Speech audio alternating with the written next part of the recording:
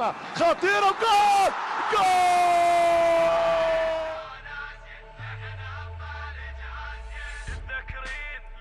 اسيا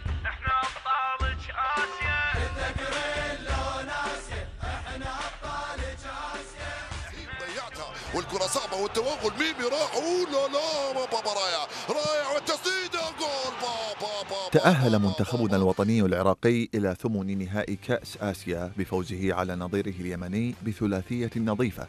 في المباراة التي أقيمت بينهما على ملعب الشارقة ضمن منافسات الجولة الثانية من دور المجموعات. وحصد أسود الرافدين الفوز الثاني على التوالي ليرفع رصيده إلى ست نقاط ويشارك منتخب إيران بصدارة المجموعة الرابعة. وكانت بداية منتخبنا نارية وشكل ضغطا كبيرا على منتخب اليمن مع دقائق المباراة الأولى. وتمكن من ترجمة سيطرته بهدف عبر المبدع ميمي الذي توغل في دفاعات اليمن وعكس الكرة داخل الشباك محرزا الهدف الأول في الدقيقة الحادية عشر.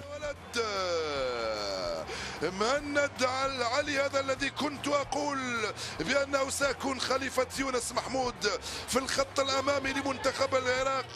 فداء أحمد السروري وبابا رايعه وحاول منتخب اليمن من كرة رأسية علت العارضة قبل أن تستقبل شباكه هدفا ثانيا بواسطة اللاعب بشار رسن الذي سدد الكرة من مشارف منطقة الجزاء مست القائم ودخلت الشباك.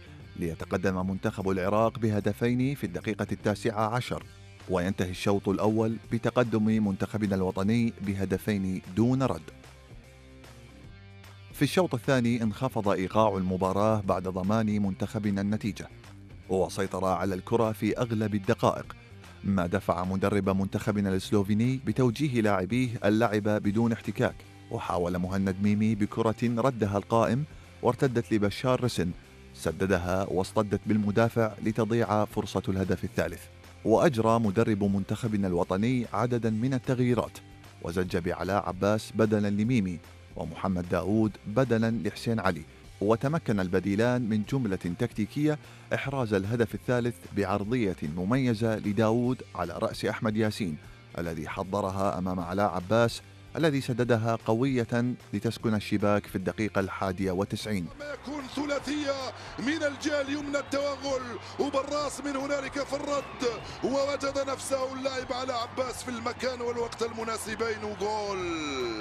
3-0 صارت النتيجة لصالح المنتخب العراقي. ولتنتهي المباراة بثلاثية بيضاء للعراق. وبهذه النتيجة رفع منتخبنا الوطني رصيده إلى النقطة السادسة. وضمن بذلك تأهله لثمن نهائي بطولة كأس آسيا. وستحسم صدارة المجموعة بلقاء المنتخبين العراقي والإيراني في الجولة الثالثة والأخيرة.